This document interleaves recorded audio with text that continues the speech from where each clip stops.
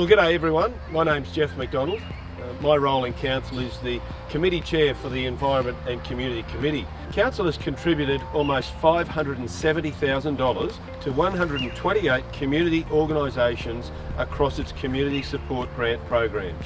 There's been almost 2,700 people attend 19 regional older people's programs. 201 youth programs were delivered with a total attendance of just over 12,700 young people. There's been 203 multicultural programs delivered with a total attendance of close to 18,000 people and almost 390,000 people visited Council's aquatic facilities.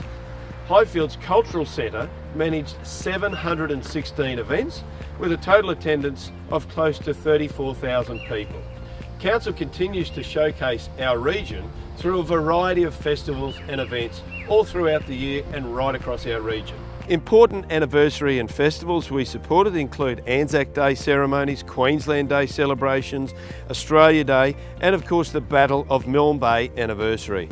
Our largest event, the Toowoomba Carnival of Flowers, continues to go from strength to strength and had a $25 million impact on the state and local economy. Carnival is the reigning Tourism Australia winner of the nation's best major festival or event. In 2016, close to 200,000 visitors enjoyed the Toowoomba Carnival of Flowers, with some 17 official events and over 80 community events. From a property services portfolio perspective, Council is committed to preserving our beautiful buildings and also making sure our community is safe.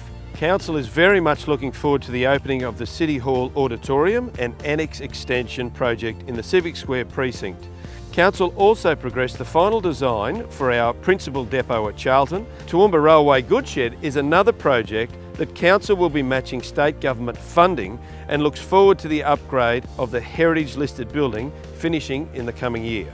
CitySafe is obviously a key part of property services as well and we're looking at making sure that our technology is shifting from analogue to digital and that'll take place over the coming financial year as well. It's been my privilege and, and honour to be the Committee Chair of the Environment Community and also the Portfolio Chair of Community Development, Facilities, tourism and property services and certainly thank all the staff for their uh, untiring efforts to make sure that our community is well looked after in these areas and look forward to the coming financial year.